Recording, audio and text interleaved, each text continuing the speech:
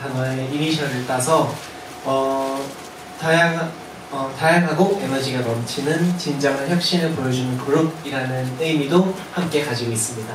네. 자, 그래서 베리베리 의미에 관해서 예, 소개를 제가 앞서서 creative 돌이라는 말씀을 살짝 드리긴 했어요. 예, 일곱 분 뒤에서 마이크 교체하고 준비할 때 살짝 말씀드리긴 했는데 베리베리, 베리베리에게 또 특별한 수식어가 있잖아요. 또 어떤 수식어가 있는지 한마디로 뭐 연호 씨가 좀 정리를 해주시면 어떨까요?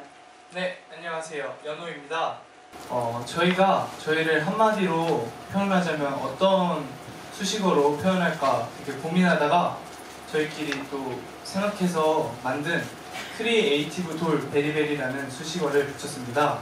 어, 요즘 다재다능한 선배님들이 많은 가운데 저희의 특별 저희의 독창성과 차별성을 살리기 위해서 저희의 특기를 살려 모든 것을 직접 제작하고 있습니다. 막내도 한마디 해주세요. 요즘에 뭐 어떤 노력하고 있는지. 저희가 지금 작사, 작곡, 안무뿐만 아니라 어, 그 영상 편집이나 제작 등 저희가 많은 것들을 직접 해서 저희 수식어에 맞기 위해 노력하기 위- 노력하고 있습니다. 자, 그래서 제가 앞서서도 영상 제작하는 게 너무 좀 처음에 신기하고 그랬어요 라는 말씀을 미리 좀 드렸잖아요. 근데 요즘에 또 어떤 영상, 요즘에는 어떤 영상 제작하고 있는지 좀 알려주세요. 아, 네, 계현입니다. 저희가 평소에는 노래와 안무 커버 영상도 많이 제작하고 또 저희가 즐겨 듣는 노래를 팬분들께 공유하고 소통하는 험플리라는 컨텐츠와 용승이의 큐브 이제 강의 영상 이런 컨텐츠들도 저희의 특기를 보여드리거나 저희의 일상적인 면모를 좀 보여드리는 컨텐츠를 많이 만들었었어요. 이제 이 중에서도 핵심인 건 저희가 직접 촬영하고 직접 편집하는 네, 저희 베리베리만의 DIY 뮤직비디오가 가장 핵심이 아닐까 싶습니다. 자, 그 방송에서도 미리 공개가 됐었죠. 그 뮤직비디오가. Super Special인 거죠. 네, 예. 네, 네, 그래서 네. 민찬 씨 설명 좀 더 자세히 부탁드립니다. 네, 민찬입니다.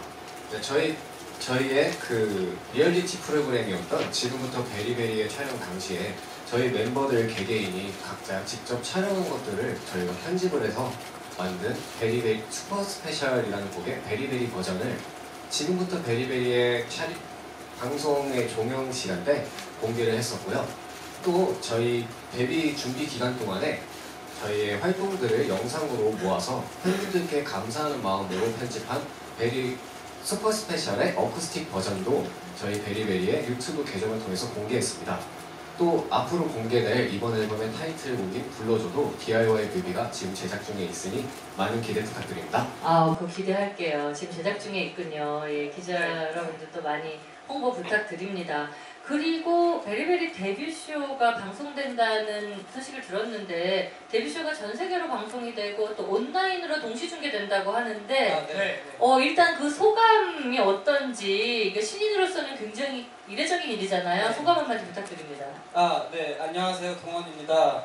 어, 신인임에도 불구하고 이렇게 데뷔 무대를 보여줄 수 있게 되었는데요. 저희가 이렇게 기자분들, 기자님들 앞에서도 이렇게 떨리는데 어, 저희 데뷔쇼가 방송에 나간다 생각하니 엄청 영광이라 생각하고 어, 또 저희 방송뿐만 아니라 온라인 네이버 어플 라이브 또 페이스북 유튜브를 통해서도 저희 전 세계 팬분들이 만나실 수 있다고 들었는데요. 어, 너무 떨리고 사실 말로 표현 못할 정도로 많이 떨리고 긴장이 되지만 영광이라고 생각합니다. 많은 분들께 좋은 모습 보여드릴 수 있도록 최선을 다했거든요. 많은 분들 꼭 지켜봐 주시고 함께 해주셨으면 좋겠어요. 감사합니다. 네, 많은 응원 부탁드립니다. 예.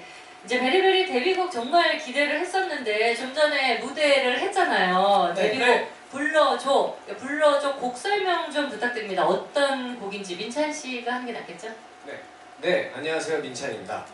네, 저희의 데뷔 앨범인 베리어스의 타이틀곡인 불러줘는 8, 90년대에 풍미했던 new jack swing 장르를 현대적인 그루브로 재탄생시킨 곡인데요. 경쾌한 힙합 비트와 네, 경쾌한 힙합 비트와 중독성 있는 멜로디 라인이 더해져서 만들어진 곡입니다. 사랑에 빠진 감정을 다양한 소리에 비유한 가사를 통해서 저희 베리베리만의 색깔을 많이 느낄 수 있는 아주 매력적인 곡입니다.